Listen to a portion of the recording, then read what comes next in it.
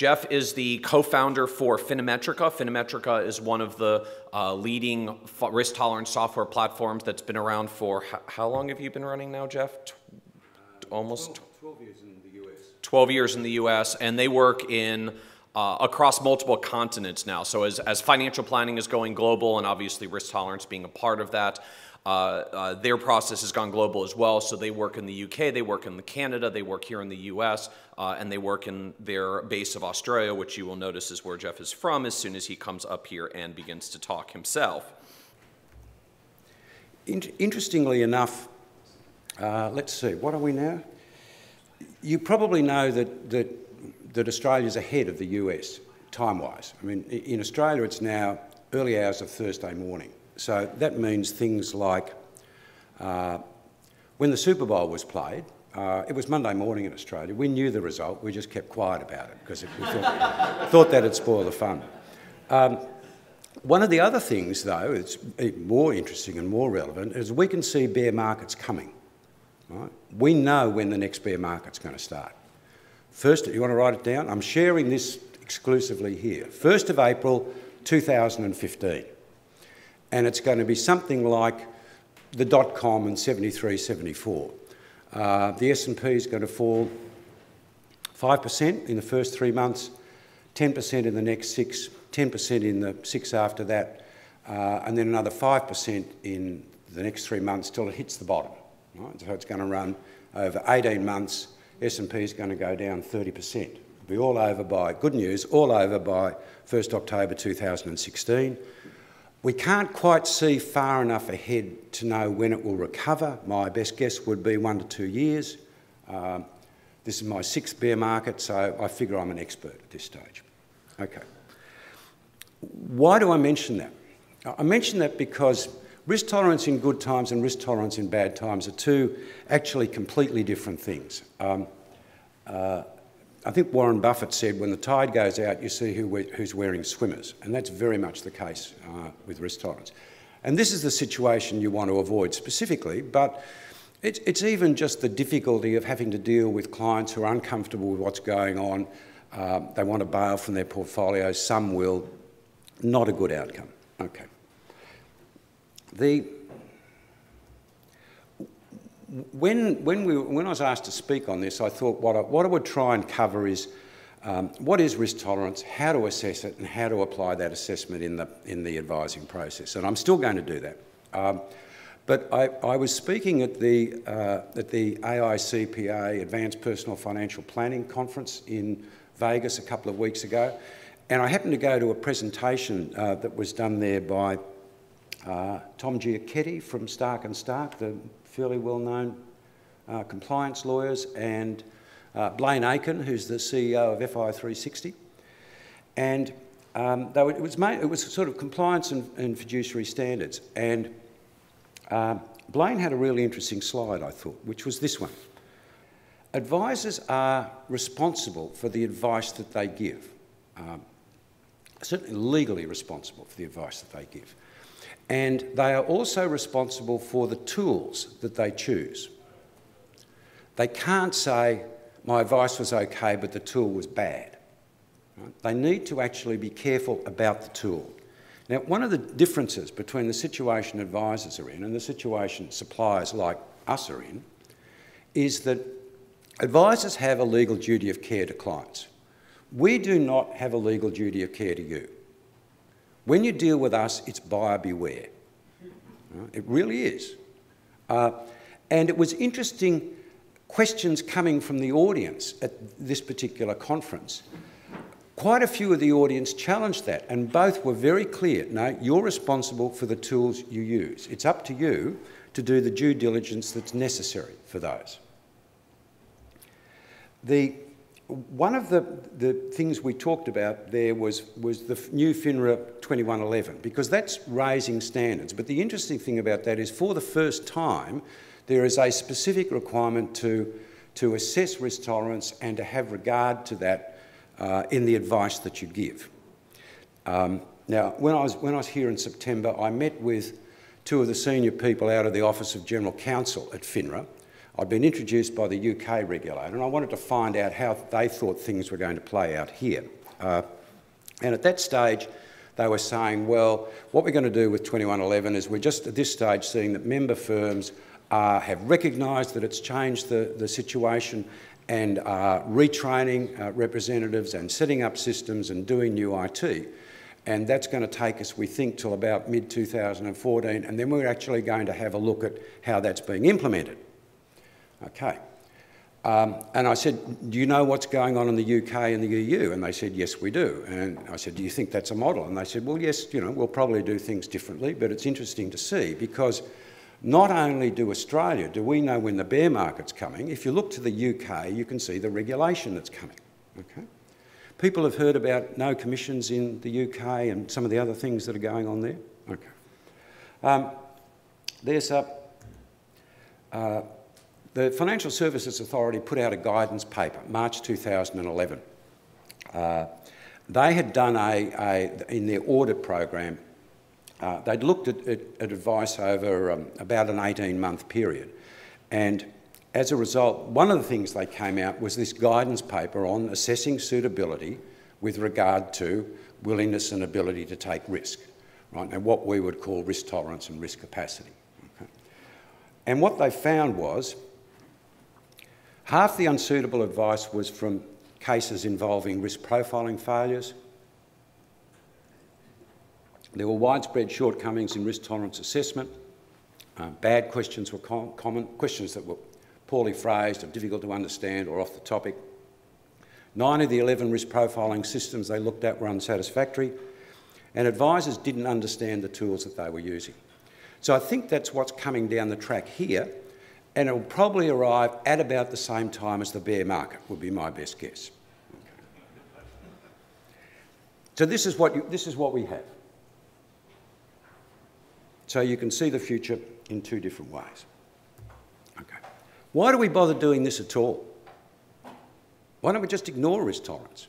Well, there's carrot and stick. The stick is business risk management, and that's compliance and legal claims. And the carrot is business development. If you do it well, there are all sorts of business development benefits you can get. Um, clients don't need to be persuaded that their risk tolerance is important or that it's important that you understand it.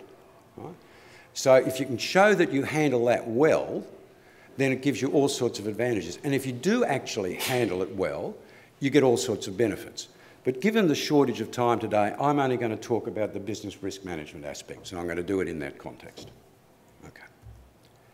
Due diligence. What's due diligence? Now, we've, we've prepared a, a, a one-page document with a whole lot of due diligence questions, which some of you may have seen. Fit for purpose, true to label. That's what due diligence is. Fit for purpose, true to label, and in this context, that's what it is. Okay. So what's the problem? You just ask them and they tell you, aren't they? Isn't that what happens? Well, it's not quite that easy, is it? Some of you will know that we've been, we've been running a draw for one of these fabulous Akubra hats made out of rabbit's fur. Um, and what you had to do to enter the draw was you had to say what you thought risk tolerance was. And uh, th this is a selection of the answers that we got. Now, of course, we weren't surprised by this. Um, one of the difficulties is, for some reason, this is an area that causes lots of confusion. Uh, the ideas aren't well understood, the term is used, terminology is used inconsistently, inconsistently, and there's just, there's just a general lack of knowledge. And it's really surprising given how central risk tolerance is to what, what we do as financial advisors. Um, this is the best definition we're aware of. This comes out of the ISO's personal financial planning standards. It's not perfect because it doesn't, I don't think, quite capture the full essence and I'm working with a couple of people to try and come up with a better de definition. But part of it is that it's, it's risk where you don't know the outcome until the future. I mean, and that's what planning's about. You're, you're giving people advice today, you're not going to know the outcome, and neither are they, of that for some time. And it might be many years. Um, and it's not just about investment. Um, this, is a, this is an example of just of some risk decisions. Uh, I mean, and the classic one is, how much do I trade off today against tomorrow? Right? But there's also, if I've got a medium term and a long term goal, do I risk my long term goal looking after my short term goal? Right? Do I put too much money in the kids' education and finish up eating cat food? Uh, and then there are the specific ones, insure versus self-assure, tax minimisation, investment risk. Now everyone focuses on investment risk and it's important, so let's talk about that. We talk about an investment risk profile. And what we mean is we mean it's the appropriate level of risk in an investment strategy having regard to three things. Risk required, which is the risk that's associated with the return that's required to achieve the goals. Risk capacity is the, uh, the level of risk the client can afford to take without running the risk of derailing their plans if things don't go as anticipated, and at least half the time they won't. Uh, and those two are financial, and you work them out with your planning software, and risk tolerance, which is how much risk clients prefer to take, and that's a psychological construct. These three very rarely line up. So there are trade off decisions and discussions that go on. And this is the people have been talking about uh, advisor alpha. This is where some of the advisor alpha comes in. Because this, this is not about doing a test and it's over with. It's about doing a test and seeding a discussion with the results of the test. And it's the discussion that matters. We've written a paper about it. You can find it on our website. Um, okay. Risk tolerance is not an upper limit on a negative, like a pain threshold. Risk tolerance is, is a balance point. It's not a point, it's actually a zone. It's a comfort zone. We're all different. Uh, it's where we do the trade off between making the most of our opportunities and putting our financial well-being at risk. When we started looking at this, we, I guess, simply assumed that this was an aspect of somebody's personality. Uh, uh, it's soft stuff about an individual. Uh, and so we went looking in psychology. We thought that was the place to look. And what we found was, and I had some, I, would used psychometric testing in the business for, in my advising business for recruitment and organisational development. And I mean, I, uh, I've got a maths degree, and so I'm one of these nerdy calculating types. And at about 17, I discovered that not everybody thought the same way that I did. Uh, which was a hell of a surprise. Uh, and so I got interested in why people are different, and I've been interested ever since. Um, what we found in psychology was that psychologists have been studying risk and risk tolerance and risk behaviour for 70 years. There's a wealth of information in psychology, very little of which has made its way across into finance and economics. What we also discovered when we went looking there, which we didn't know anything about at the time, was decision science. There's a lot of work being done on decision science. That's usually done by multidisciplinary groups, not just straight psychologists. And of course, more recently, there's neuroscience. Now, neuroscience is still at the pure research stage, and so they're finding out interesting things, and I don't know how you're going to put electrodes on somebody's head, but what we're seeing is we're seeing explanations of behaviour coming out of neuroscience. Okay. What does psychology tell us about risk tolerance? It's a psychological trait. It's a relatively enduring way one individual differs from another. So it's like um, optimism, it's like extroversion, it's like detail-mindedness, uh, it's like sociability. It's a psychological trait. It's determined by genetics and life experience.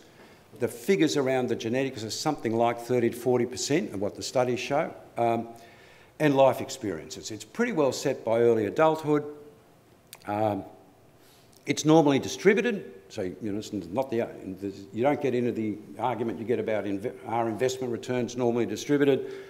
Risk tolerance is, as are other aspects of uh, personality. Uh, there are five domains, physical, social, health, uh, physical, social, physical, social, health, ethical and financial. People behave consistently within domains, but really not uh, partially across domains. A physical risk taker may or may not be a financial risk taker. Uh, it decreases with age slowly, on average, but not for everybody. Uh, it's susceptible to major life events as, as other aspects of personality are. Uh, it can change. Some client experiences a major life event, positive or negative, their risk tolerance can change. Males are more risk tolerant than females and it influences all decisions. Now, it's not a driver of decisions, it's simply one of the factors that influences risk behaviour. You'll have goals, you'll have perceived alternatives, you'll have perceived risk, etc. But it's a critical factor in risk behaviour. If you want to get into any of this stuff in any detail, th th this is a really good paper to start. Right? Uh, Elke Weber, lovely lady, uh, psychologist initially, now teaches the, uh, in the MBA program at Columbia, and she's uh, involved in their Centre for Decision Sciences. Uh, the reason I recommend this paper is, is because not, the paper itself is a good one, but she touches on a lot of, she and the other authors touch on a lot of the points and they've got great references. And it's an easy way into, I don't know if you've ever tried to get into a new field of, of discipline and understanding. Finding your way in can be very hard. Even better still, has anybody come across the behavioural finance team at Barclays in the UK? You know who I'm talking about? Oh, they're a goldmine. Um, about six or seven years ago, um, they got together a, a, bunch of really impressive PhDs. Greg Davies heads up the team. Uh, and again, it's a multidisciplined bunch, but where they're different from, from the normal sort of range of, and these guys are all academics at some stage, or still are in some cases, is they're good at actually putting the stuff into lay speak, but they don't get it wrong. A lot of what you read in lay speak is just wrong. People don't understand the concepts or they express them badly. So investmentphilosophy.com, it's a goldmine. Um, I like to try and you know, use third parties as references. Um, I did, I've got to disclose, I'm a co-author on this paper, but there are two academics on it and it was peer reviewed and it was published in the journal. So there's more to be learnt there. Any form of testing, the two things that are critical are validity and reliability. A valid test is tests, tests what you think it's testing, and a reliable test tests consistently with known accuracy. So using my targets as an example, valid and reliable means the bullet holes are centred on the bullseye and they're tightly grouped. That's valid and reliable. Valid but not reliable is the bullet holes are still centred on the bullseye, but they're spread. So you get, you'll get a large error. If you use a, a tool with low reliability, you get large errors. Um, uh, reliable but not valid, uh, it's accurate, but it's off target. And neither valid nor reliable is off target and all over the place. Okay. And one of the things I think to note is that the valid and reliable one, not every shot is directly on the bullseye. They spread. There's an error in any system of measurement. In our case, well, it doesn't matter, isn't it? There's an error in any system of measurement. If you're using a tool, you need to know what the error is, right? when it arises and what its influence is. Our test um, Developed, maintained. Uh, I mean, I know a fair bit about psychometrics, uh, but I'm not a psychometric expert. I certainly can't do all the complicated stats. Uh, uh we work with the School of Psychology at the University of New South Wales.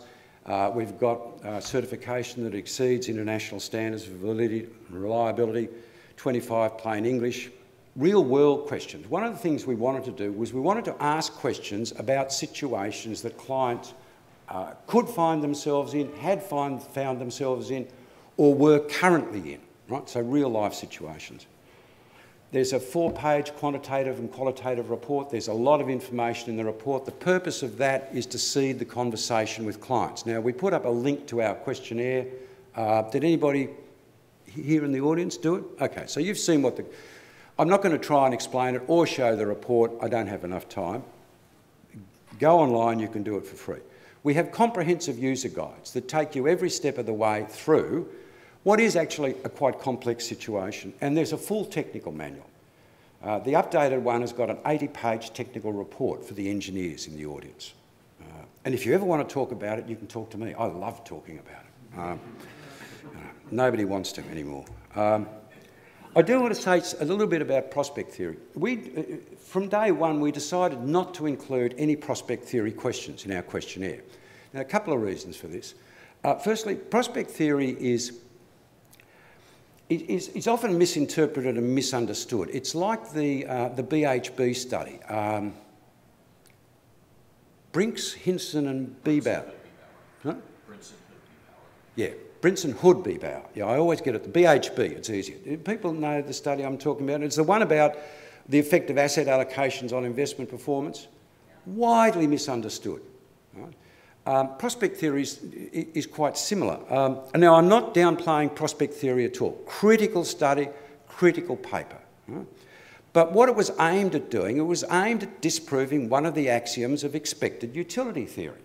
Now, expected utility theory was what un underlined finance and economics' view on how people behave. And the assumption was that human beings are, are error-free, wealth, wealth maximising calculators.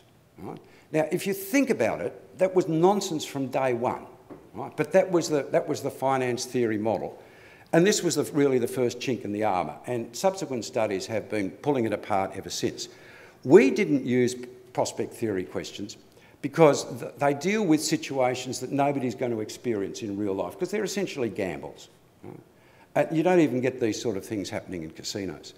Um, but also, uh, subsequently, prospect theory is only an approximation of a... Ah, the prospect in prospect theory, the term prospect is used in the sense of gamble.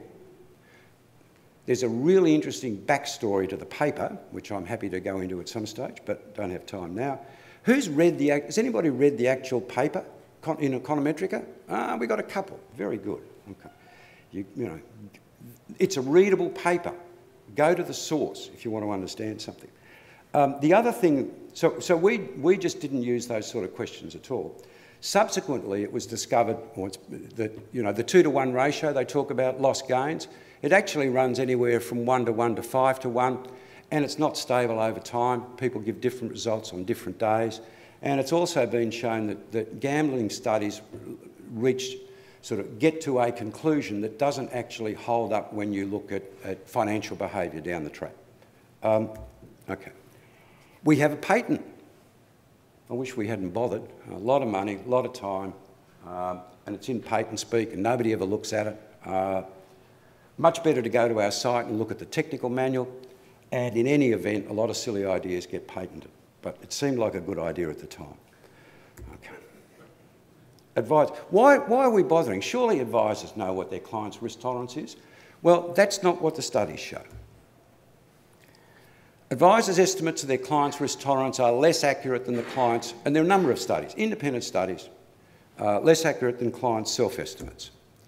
They exhibit gender bias. Males' risk tolerance gets overestimated, females gets underestimated, and it doesn't matter whether the advisor is male or female.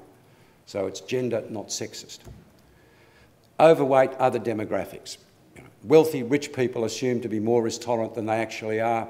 Uh, older people assumed to be less risk tolerant than they actually are, etc., etc. Advisors' estimates correlate, and, and, largely this is because the tools that most advisors use, as most people know, are pretty rubbish. It's the tick the compliance box and put it in the drawer. Um, uh, estimates correlate uh, uh when tested with test scores at 0.4. Now, what that means is that there's a serious error being made in one in six cases. Serious error is two or more standard deviations. So that's like thinking in clothing sizes that somebody's a medium when they're actually an extra large or an extra small. Okay? And, the, and the pure fact of the matter is that advisors would actually be more accurate if they made no attempt to assess risk tolerance and simply assumed everyone was average, but that would be giving the game away and the compliance people wouldn't like that. Okay. So back to due diligence. First thing, do due diligence on what you're currently doing. I think you'll finish up very unhappy. Then look at, at one of the alternatives, and you know, we're alternatives, a couple of others out there, uh, and do the due diligence on them. Doing it on us, uh, we are the only scientifically validated risk tolerance testing system in the US. We, there are others elsewhere. and There are three in the UK, uh, three in the UK. I'm aware of two in Europe. There's one in Australia, so we're not the only ones. We've been around for a long time. Right? We've got a long track record. Uh, we're proven through bear markets over 15 years. Uh, we're used in universities uh, for teaching and research purposes. Um, and and there's only ever been, and this is, this is my word, so you don't have to believe me, I'm a salesman, I'm selling. Uh, but we've only, we're only aware of three legal claims involving clients who, who, who had done our test. None of them were successful. the, it's not the fact that they weren't successful that's relevant here, it's the fact that, is that beeping at me? Okay, I'm nearly done. Uh, it's the fact that there were only three claims. I mean, business risk management, the first thing you want to do is stop claims happening. Any claim is damaging. Right? It's emotionally damaging, it's financially damaging, it'll probably damage your brand. Avoid them if you can. Okay, that's me. Uh, lots more information at riskprofiling.com. You can test your own risk tolerance there and you can trial our system there. Okay, thank you very much.